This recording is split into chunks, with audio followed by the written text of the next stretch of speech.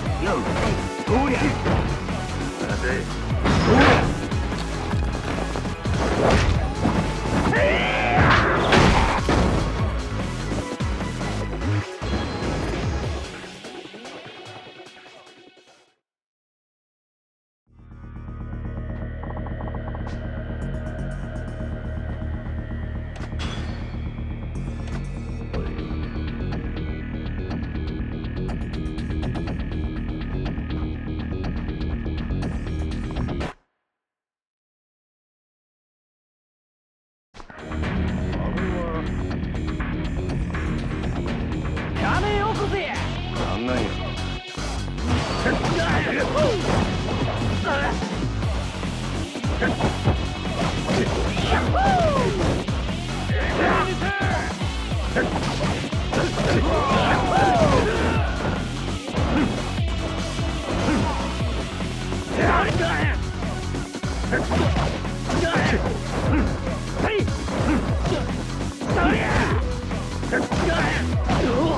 あ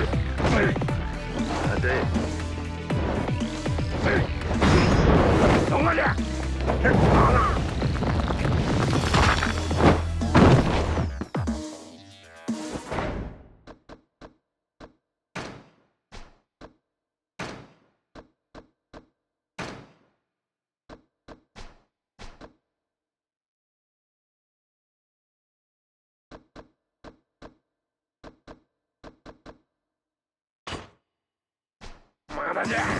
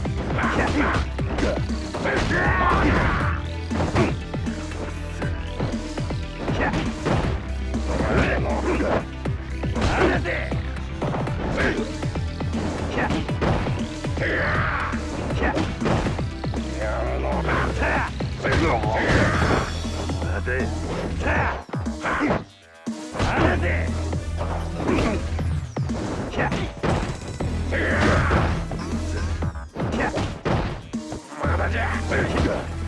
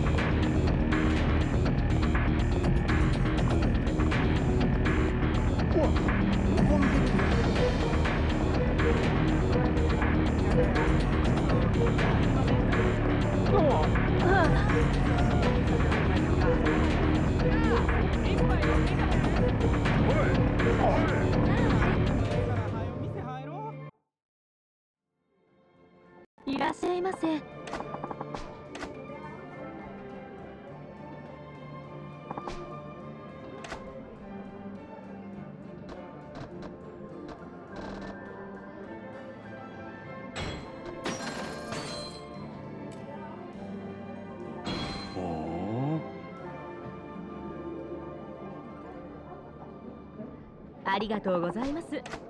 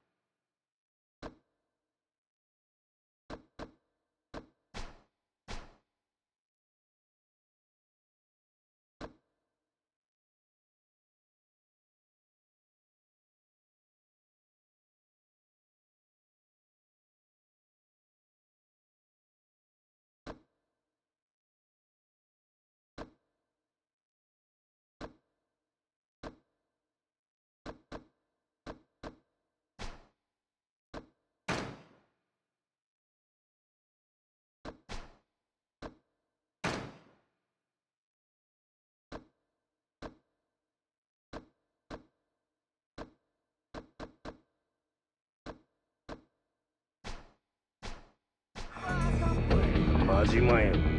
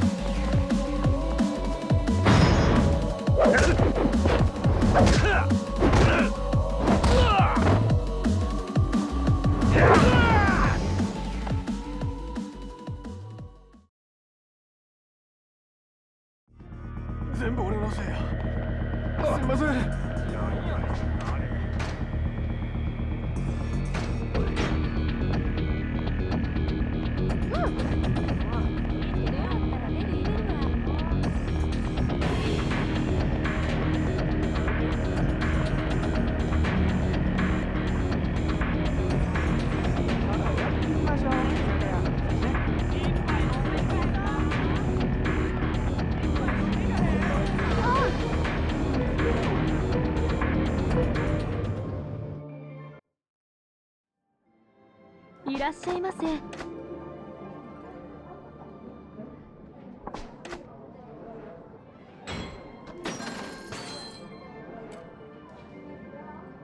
なんちゅう味や？ありがとうございます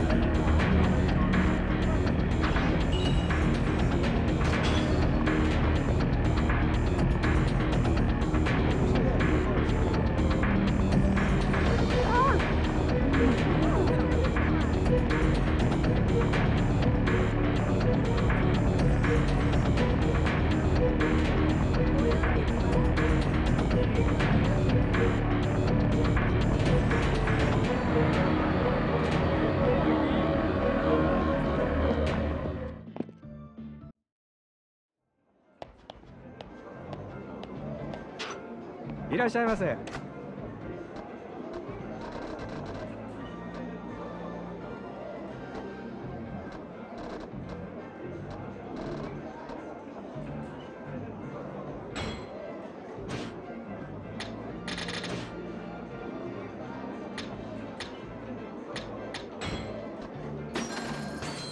ありがとうございます。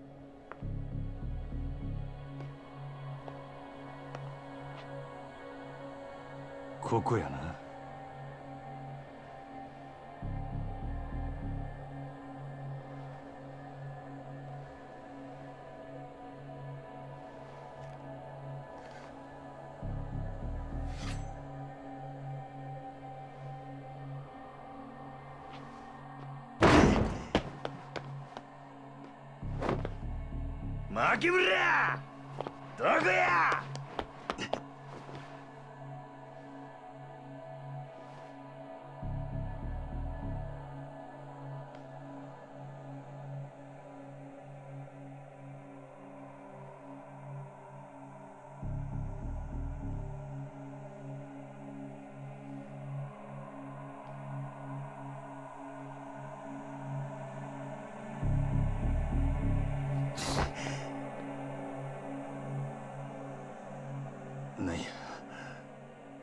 誰もおらんのかい？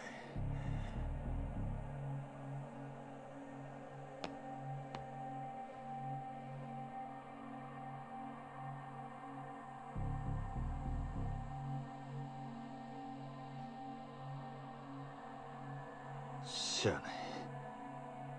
出直すか。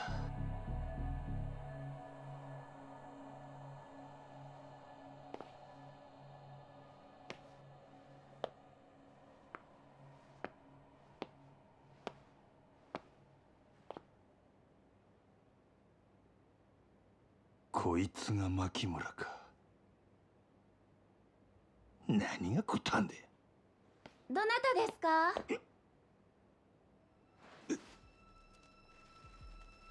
あれあのお客様ですか？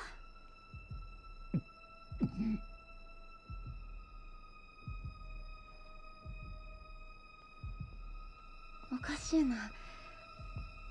すみません誰かいらっしゃってますか？なんやこいつ。目が。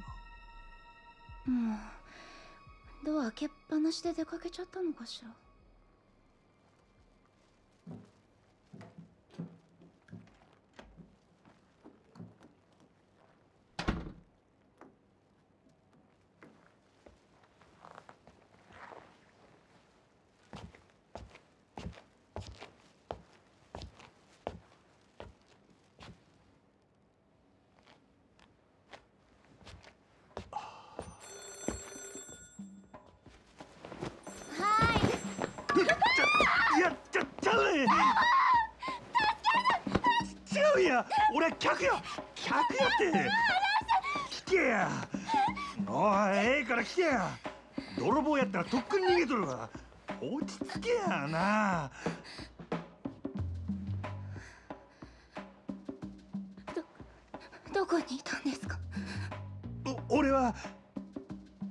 店に入ってきたとこや。いきなりあんたがすごい勢いで突進してきたもんやから避けきれんかったんや。ビビったのは俺の方やで。でも今日の予約はもう入っていないはずです。そうなんか？いや実はもう体がバラバラになりそうなくらい辛くてな。そしたら知り合いにこの店の店長の話聞いてな。なんやゴッドハンドっちゅう噂らしいやんか。せやから飛んできたっちゅうわけなんやけど。おおい。すみません。怖くて。すみません。ええんや。で店長は？おらんのか？今日は出かけて帰ってきませんすみません。なんで謝るんや。わかった。とにかく出直すわ。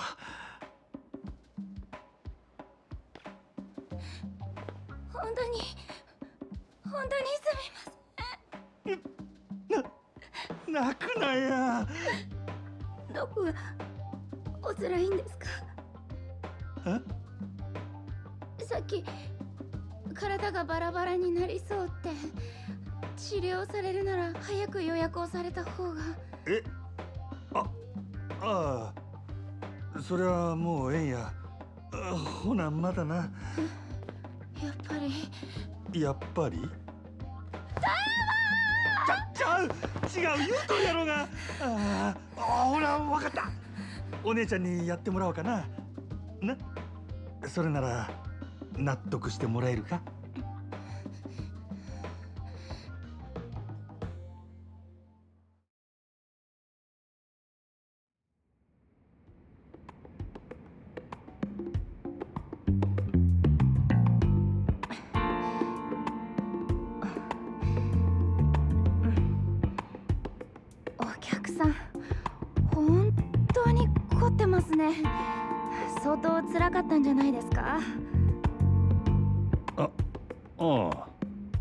に体を酷使されてるなんて。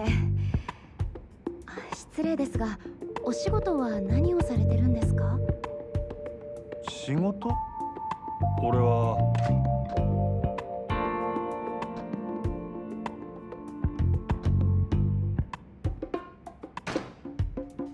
俺は証券マンや。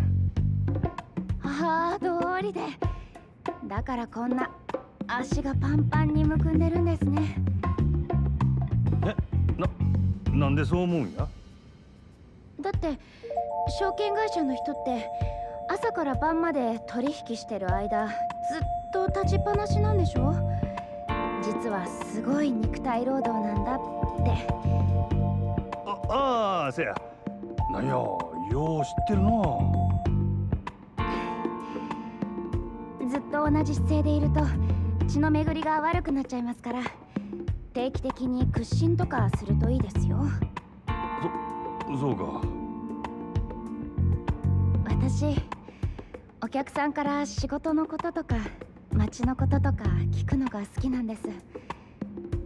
お客さんが普段どんな仕事をしててそれで体がこんな風に凝ってるんだなって施術をしながら頭の中で想像したりするんですほ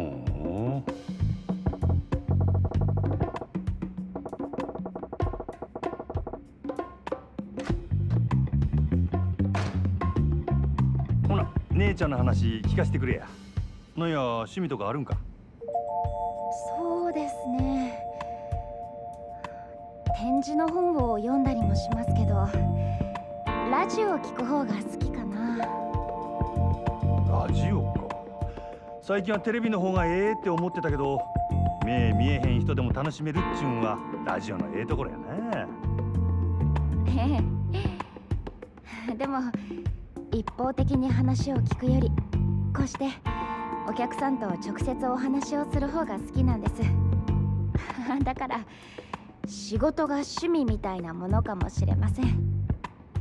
人と話すんが好き言うんやったらあんたホステスなんか向いとるんとちゃうか？私がですか？さすがにそれは。あいやいや。ああいう店に来る男っちゅうのは誰かに自分の話がしたいんや。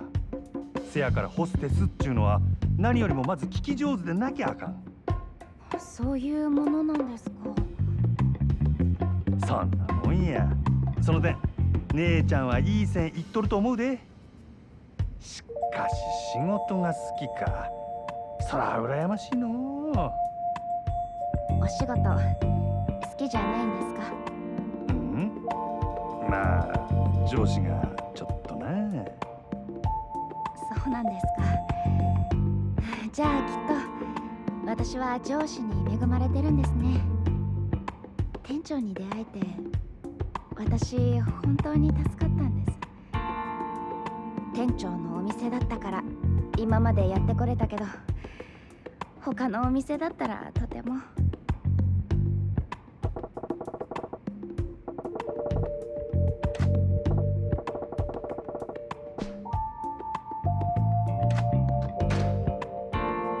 ここの店長ってのはどないな人なんや？店長ですか。そうですね。なんか見た目は可愛らしいですなんやその見た目はっちゅうの。まるで実はちゃうみたいやないか。だってあんなに優しい人他にいませんよ。そりゃ怒鳴ると怖いかもしれませんけど。そのなんや暴力を振るうタイプとちゃうんか？暴力？僕確かに店長力は強いみたいですね店長の指圧を受けてるお客さんはいっつも悲鳴を上げてますよ。いやそういう意味はのうてな。でもあんなに強く指圧してるのに揉み返しが起こることが全然ないってすっごく評判なんですよ。ゴッドハンドっちゅうやつか。どうしてもお店に来られないって人のために出張訪問まで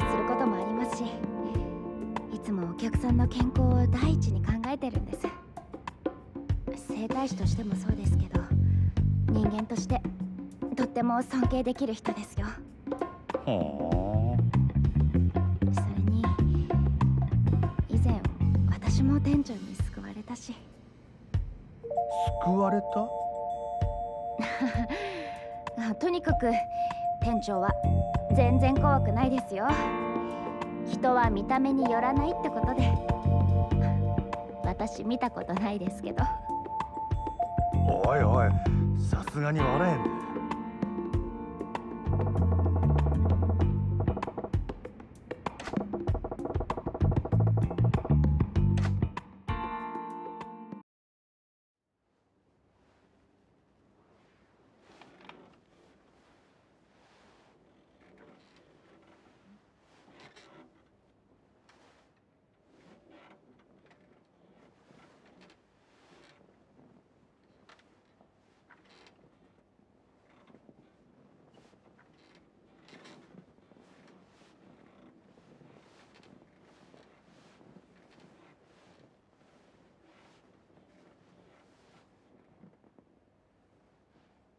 客さん。お客さん。ななんや。寝てもうたんか。相当お疲れだったみたいですね。リンパも全然流れてなかったみたいですし睡眠不足が続いていたんじゃないですか？ああそうかもしれんな。じゃあ今度は仰向けになってもらえますか？ちょっと枕の準備しますね。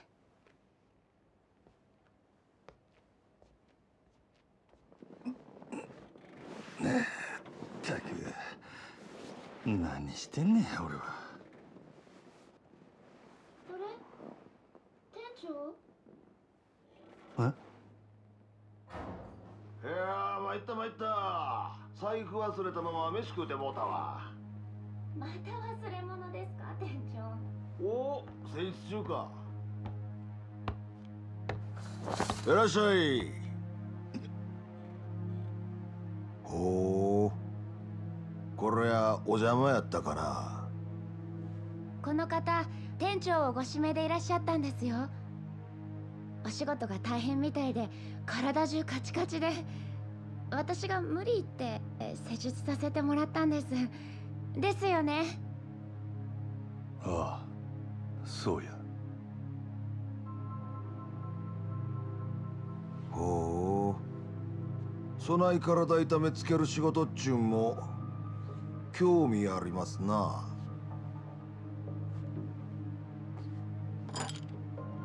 あれ？店長ハリーですか？それ。はあ弟子に任せっきりやったら新規のお客さんに失礼やしなオプションでハリー行っとこか思ってな。本当ですか？お客さんラッキーですよ。店長常連さん以外針治療やってくれないんです。店長の針灸だったらお客さんのこりも良くなるかもしれない。ん？あれ何の音だろう？あああかん。大事なもん忘れたわ。ちょお前タバコ買うてこいや。え私？春やるときわしがタバコで急に火つけるんは知っとるやろ？あはよ買うてきて。でも私だと時間かかりますよ。大丈夫や。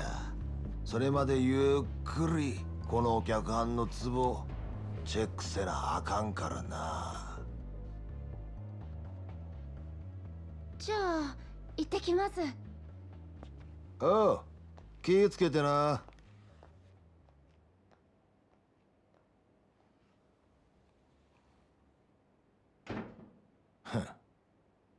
はよどすとったらどうや。固めのあんちゃん。こういう状況も慣れっこっちゅうわけか。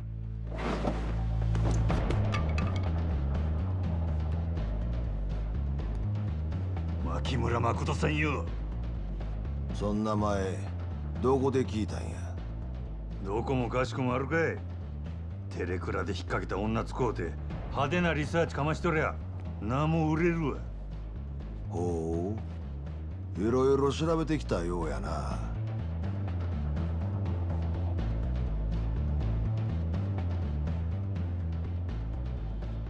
なんや。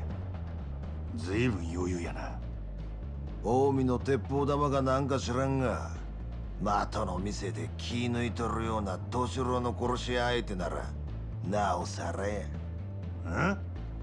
悪いことは言わん。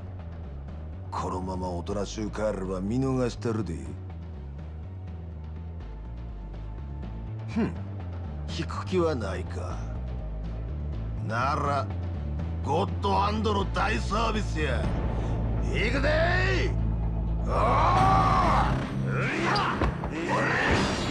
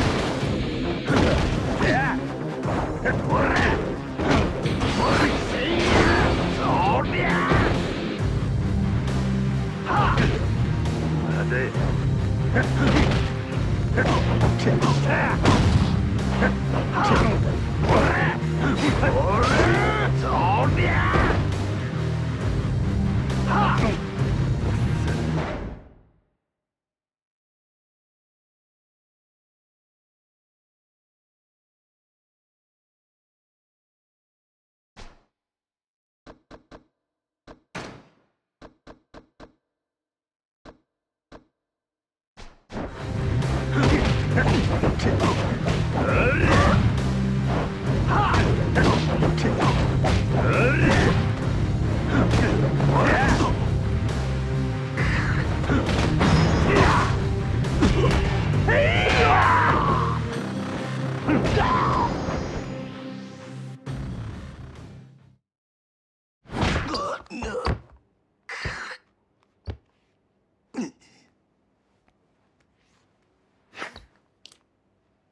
ただの鉄砲玉やと思っとったが一味ちゃうな。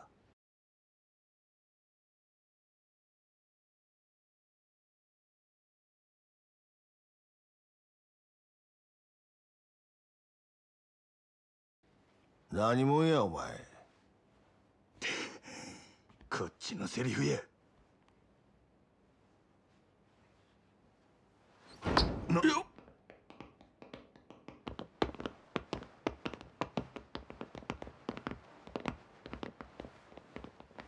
邪魔すんで。やっぱりちんけなチンピラかい。ちゃんとお仲間呼んどったっちゅうわけか。なおかお前の仲間とちゃうんか？なんやと？取り込み中すんまへんな。あんたが店長のリー・ウェンハイやな。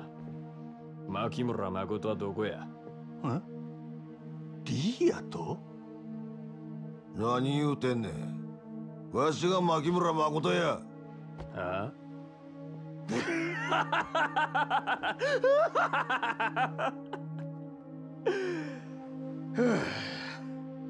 なんしょうもない嘘をついとんねん。今までそれで乗り切ってきたんかもしれんがうちらに通用せんで。なんやと？あせやったら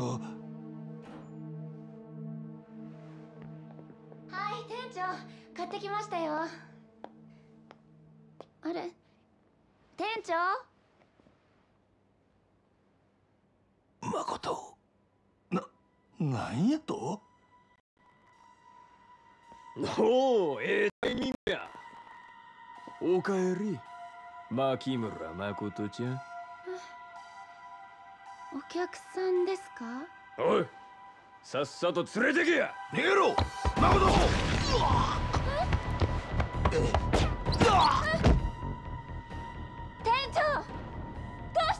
店長ま誠。ええから逃げろ。なんなの店長店長どこ？牧村。この子が邪魔すんなおっさん。おらおさっとすんな。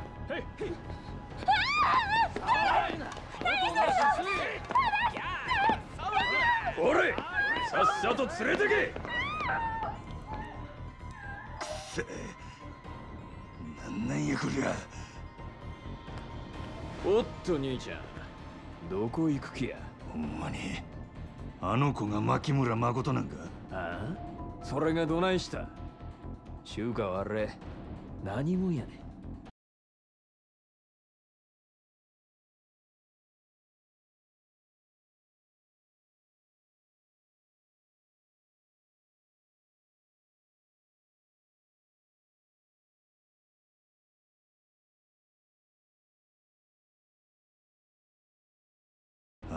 は俺の獲物や。お前らの勝手にされたら困んねえそらこっちのセリフやボケ。前あんたも死んどき。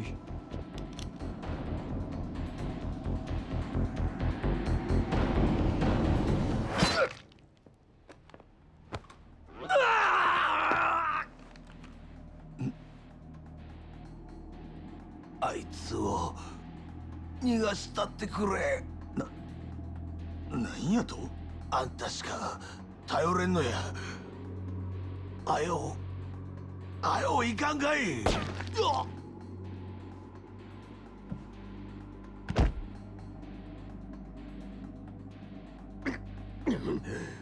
余計な邪魔しよって。なんなんや。この状況は死体の処理が邪魔くさいけどしゃあない。二人ともそのまま蒼天堀に流したら覚悟できとんな兄ちゃん。おやったれ！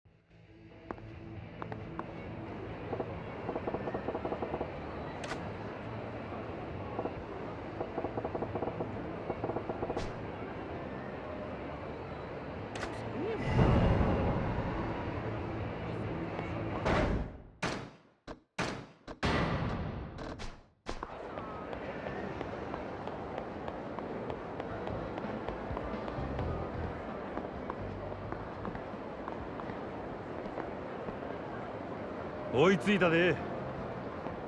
なんやわれ邪魔すんなや。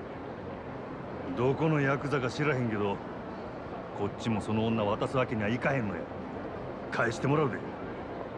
くそ構えんぶっ殺したれや。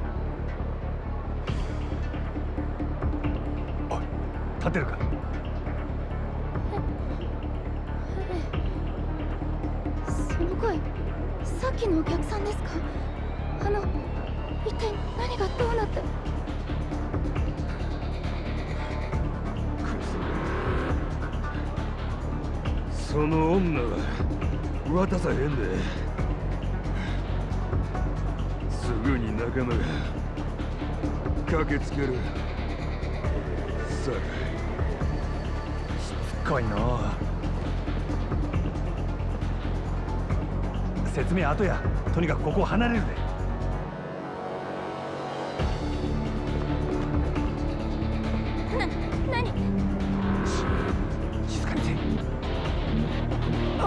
兄貴！くそどないなっとんねん兄貴大丈夫でっか？おい女はまだ近くにおるはずや。すぐに探すで！応援呼ばんかいおおい！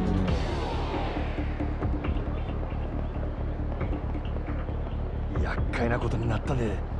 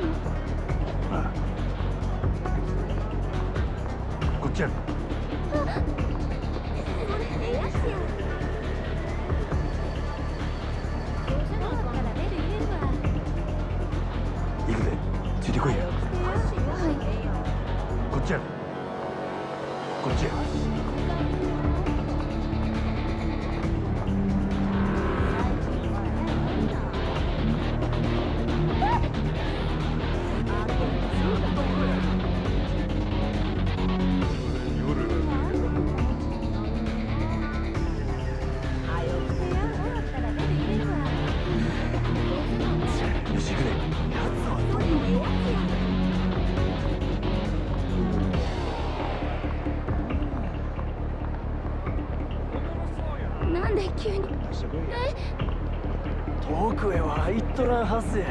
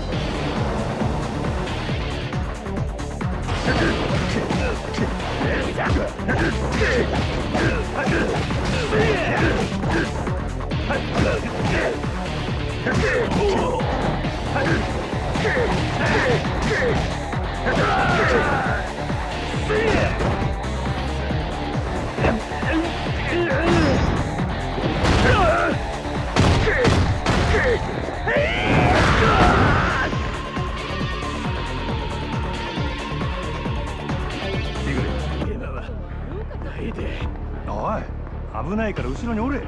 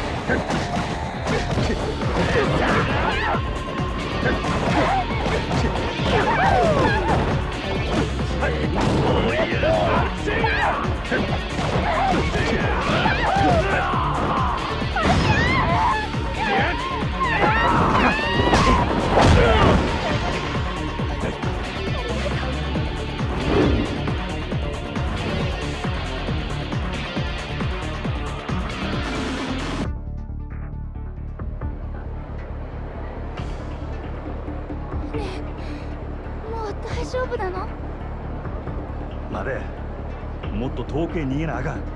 もたもたしてる暇はないで。行くで。こっちや。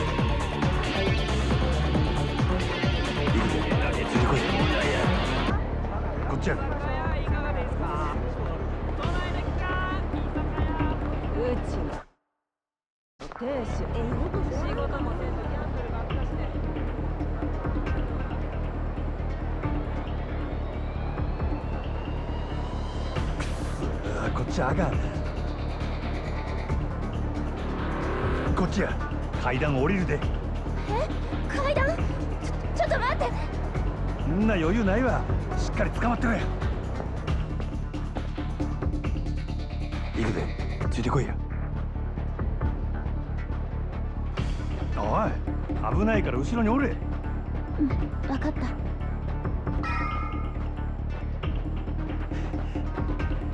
あとはここを突っ切れば奴らを振り切れるはずや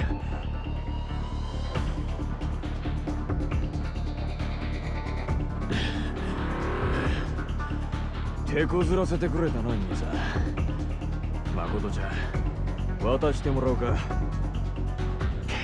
くそしつこいやっちゃのうお前はここでじっとしとけ。はい。誠ちゃん先逃がしてもええで。どうせ一人やったら遠くまで行かれへん。すぐに追いつけるんや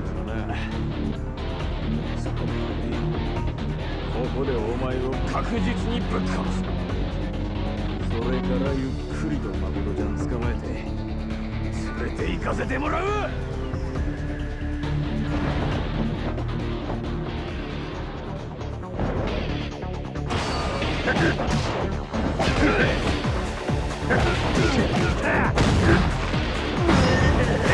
こ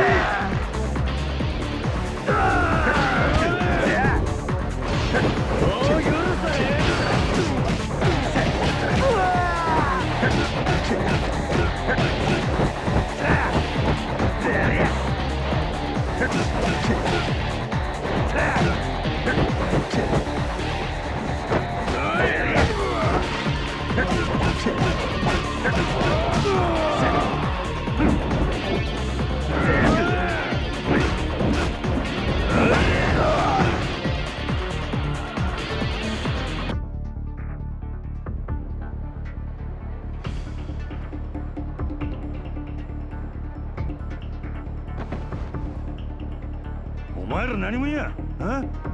なんであの女狙うとる？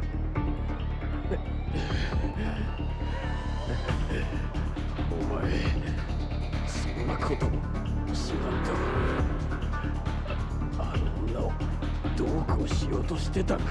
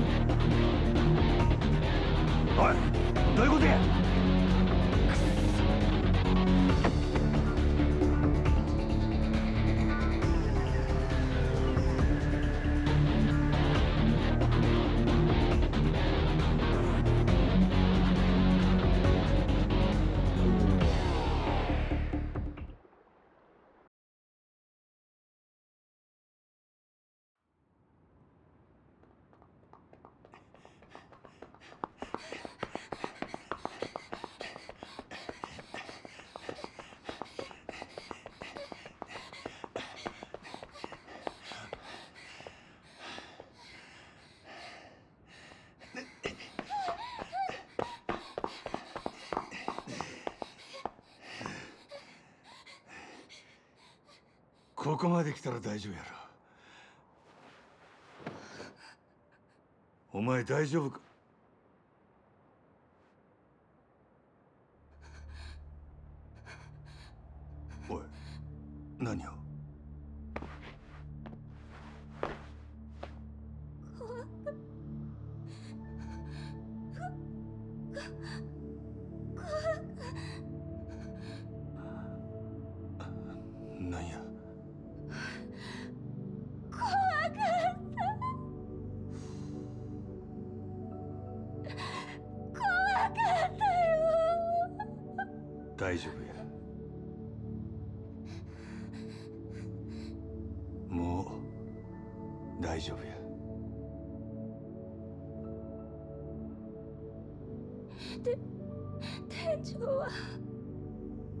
配すんな。奴も逃げた。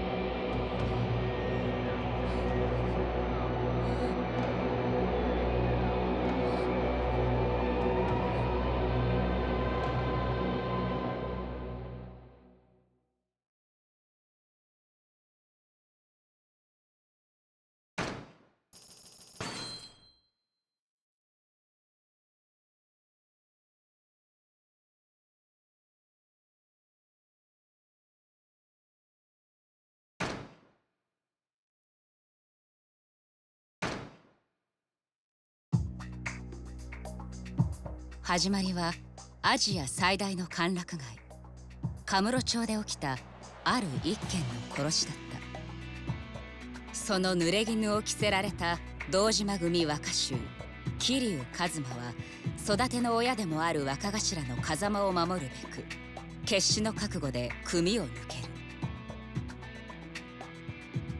桐生をはめたのは風間に次ぐ組の幹部堂島組若頭補佐久世剣能会会長久世大作。その最終的な狙いは空の一坪と呼ばれる土地にあった。巨大な利権の絡むカムロ町再開発計画にとって欠くことのできない空の一坪。そのわずかな土地をめぐる極道たちの熾烈な争奪戦にある一人の男が桐生を巻き込んでいく。立花不動産社長立花哲。その背後に隠された風間の意志が桐生の運命を大きく変えようとしていた。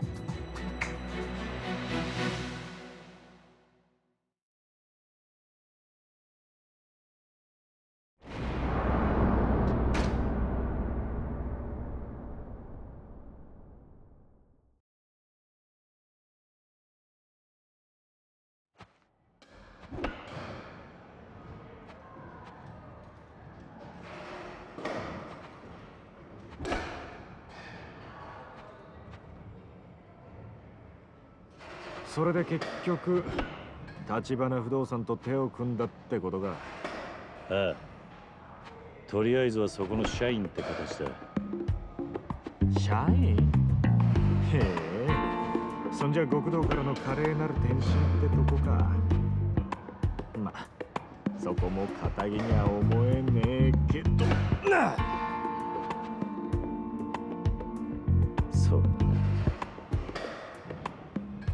となるとお前の殺しの濡れ衣晴らす件は立花不動産が手貸してくれるん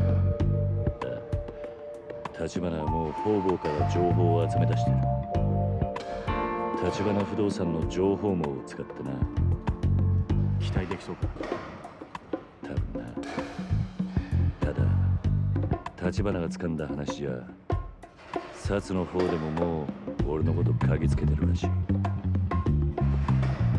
一粒の死体から俺の指紋が出てる。おいそれじゃお前すぐ札に手配されちまうんじゃねえか。いやそれについちゃ立花が札に鼻薬効かせてる完全に捜査止めるのは無理としてもいくらか遅らせることはできるって話だ。それでも真犯人を見つけない限りはいずれ札に追われ俺が街を自由に動き回れんのは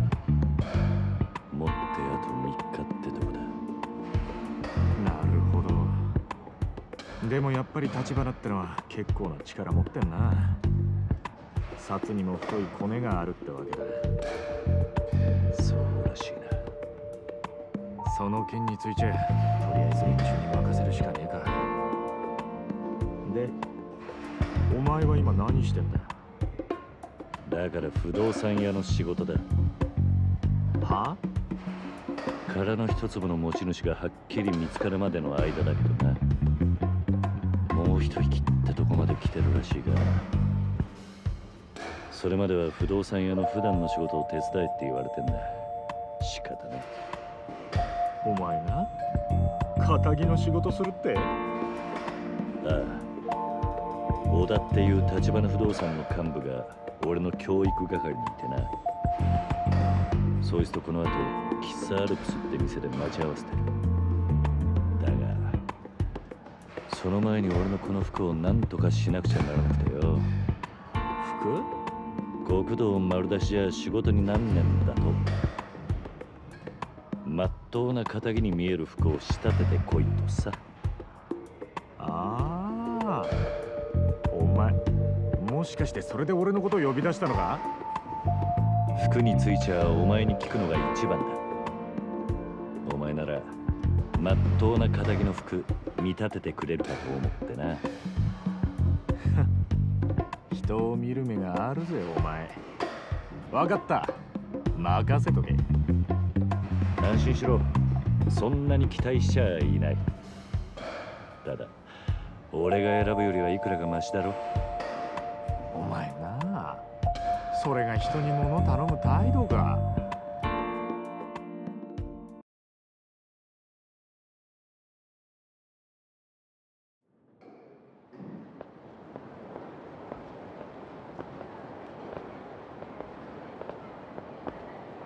待ち合わせまで時間どれぐらいあるんだ？そんなにはないな。できればカムロ町で買い物を済ませたい。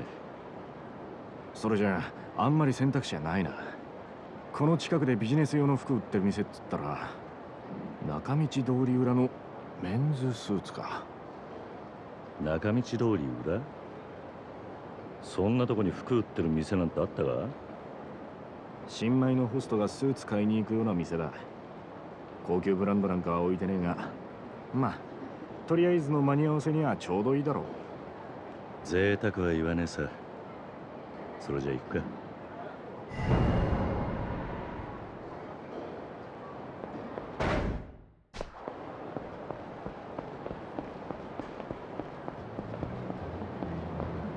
それにしてもおめえ俺に服の見立て頼むってことはセンスねえって自覚があったんだな。余計なお世話だ。俺は別に無難に済ませてだけだよ。お前も適当にやってくれりゃいい。何言ってんだ。俺がやるからには手は抜かねえよ。きっちり気合の入った形に仕立てるお前今ガンつけたろ。やんのかあ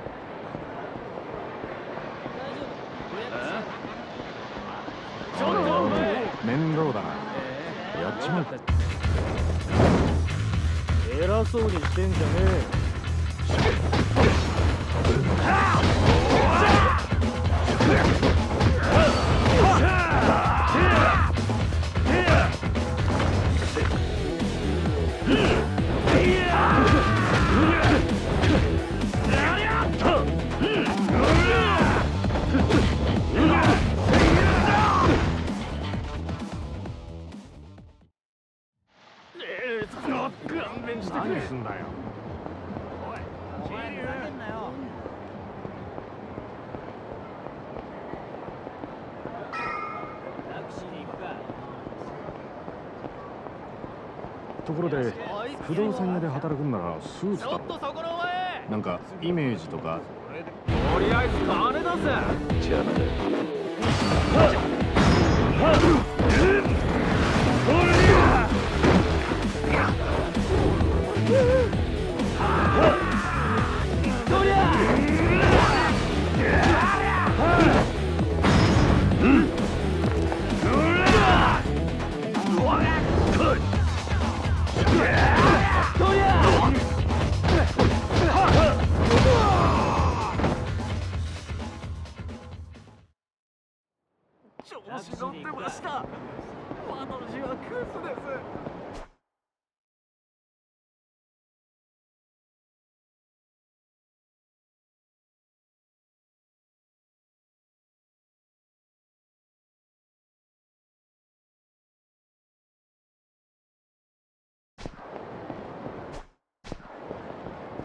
ちょっと待てよ。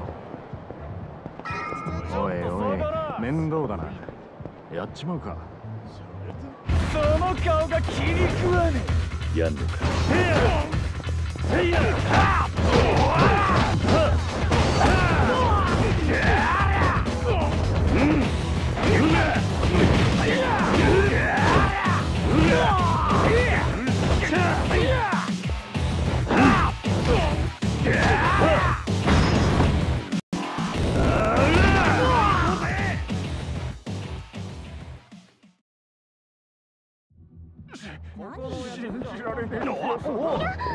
気をつけろ。今度はボスにしよう。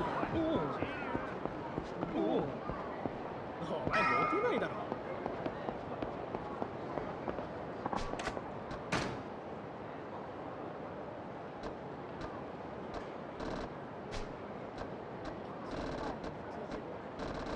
なんだ定番じゃないこれはねあどうしたふざけんなよ何してんの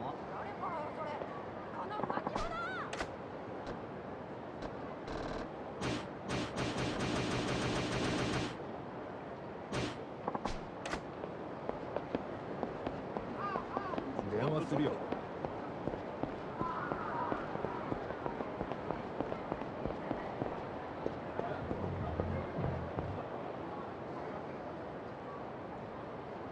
着いたぞここだ。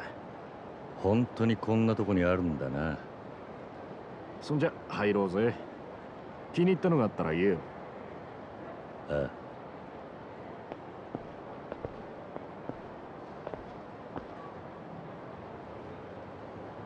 無難な線だとこんなところか。なんかパッとしねえな。地味だなそれが仇ってもんだろうが。見え張ってなんぼなのは極道だけだ。ただこれじゃなんていうか貧乏人っぽく見えるんじゃねえか？ならおめえにぴったりだな。うるせえな。おこれなんかどうだ？バカ。おめえそれ絶対やめとけ選ぶんじゃないかとは思ってたけどよ。なんでダメなんだよ。これじゃあスーツの自己主張が激しすぎてアクセサリーや髪型靴腕時計全身コーディネートしないと浮いちまう。着こなすにはセンスだけじゃなくて手間も必要だ。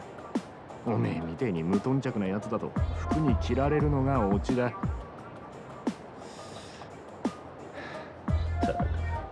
めんどくせそれじゃあこれはどうだ色は落ち着いてるがラペルがピーク度で意外と派手に見えると思うぞ。白か。さっきの柄物に比べりゃマシな方だろう。よしこれ試着してみろよ。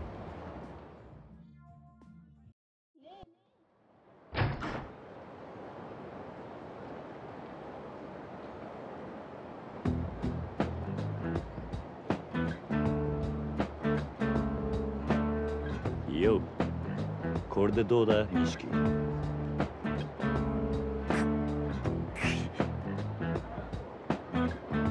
何笑ってんだよ。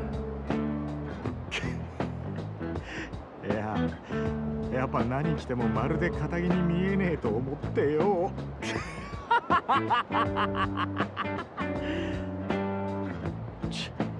お前の見立てた服じゃね分か。ってるって。いやでもよえか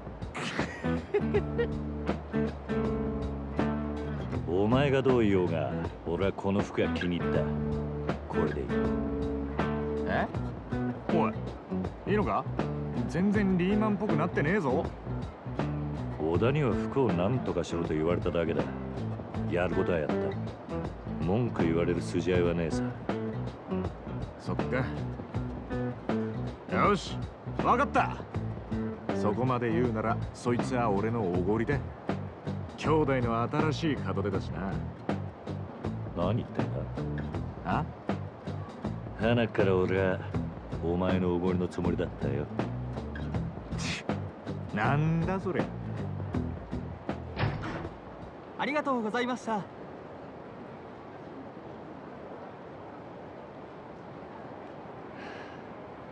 付き合わせて悪かったな錦助かっああ。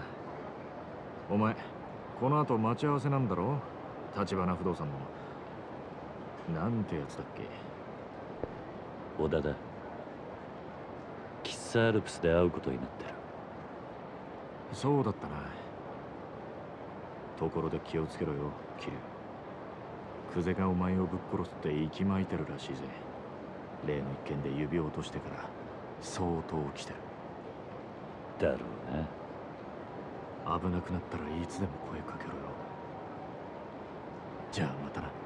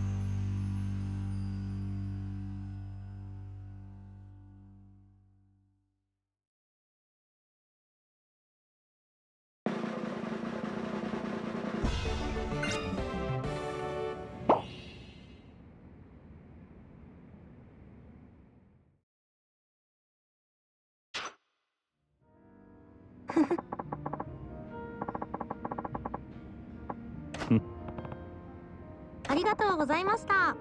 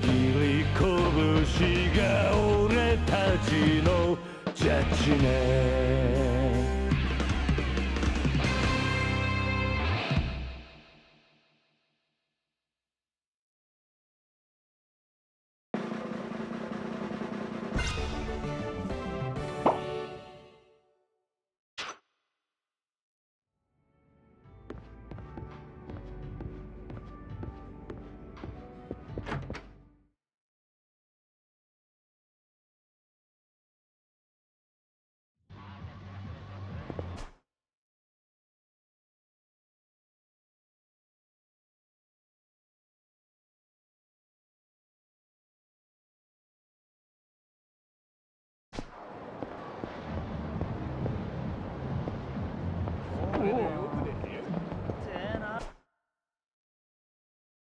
お